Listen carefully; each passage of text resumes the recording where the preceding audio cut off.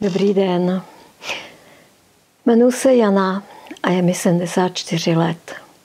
Čekali jste někoho mladšího, vidíte, já taky. Nicméně z těch, co absolvovali kurz a uvěřili v Boha, vybrali mě, abych vám něco řekla o svých zkušenostech z kurzu.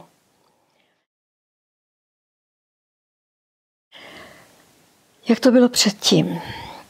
Díky své zvláštní povaze jsem se velmi často dostávala do konfliktu a do potíží a bylo jich stále více. Byla jsem na ně úplně sama a nesla jsem je v tom ranci na bedrech celý život sama. Nikdo mi nepomohl. Přibývalo jich tolik, až se nakonec pod nimi klesla. To mi bylo 60, když na mě dolehla nemoc, která se jmenuje chronická únava. A to je vlastně ztráta veškeré energie. Na jednu stranu je to vlastně záchrana před sebezničením, ale na druhou stranu to vezme taky veškerou aktivitu, takže je to bezmoc, vegetování a ležení. Já jsem hledala pomoc u lékařů, ti mi nepomohli, protože zatím nevědí, jak na to. Jednou to půjde. Pak jsem se musela obrátit na léčitele, různé kurzy, různé alternativy. Stálo to opravdu hromadu peněz a bohužel taky nepomohli. Až pak po dlouhé době, kdy už jsem téměř vzdávala život, mě pomohl, se nade mnou slitoval Bůh a přivedl mě na tyto stránky, na které se díváte. Na stránky Hledej Boha.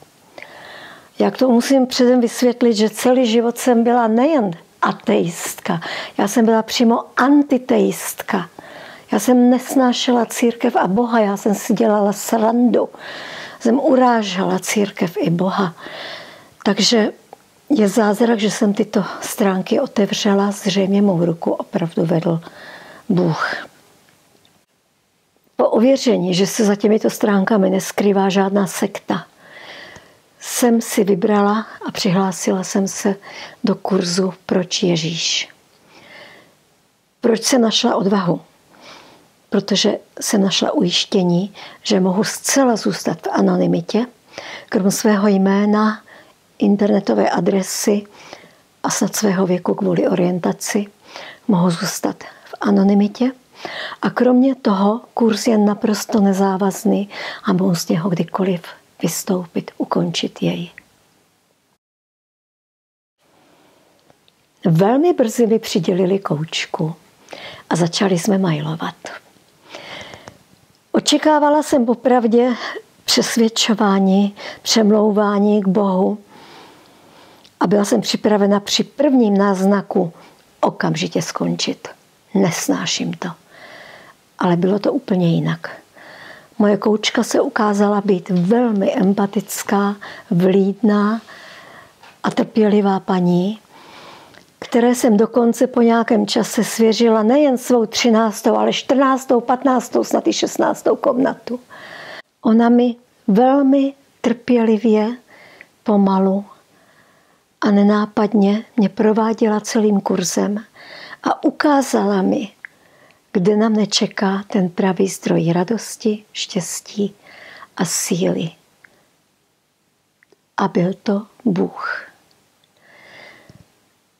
Já sama jsem došla k tomuto poznání a navíc rozhodnutí, zdali se mu odevzdám nebo ne, ponechala úplně na mě. Náš první kontakt začal 25. června tohoto roku. A už za necelý jeden a půl měsíce mailování jsem uvěřila v Boha. A pak se začaly dít věci. Bůh vstoupil do mého života a mohla jsem na něj složit ten svůj ranec problému. A poprvé v životě jsem pocítila radost ze života, štěstí. Bůh mě vedl, uzdravoval, radil mi. Prostě začal mi krásný život.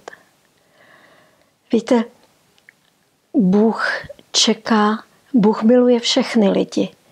ale čeká. Nevnucuju se. On čeká na toho, kdo se mu svěří. A to je vše. Na závěr bych si vám dovolila doporučit. Hledejte Boha. Naleznete radost, štěstí a smysl života. A hlavně nečekejte 70 let jako já.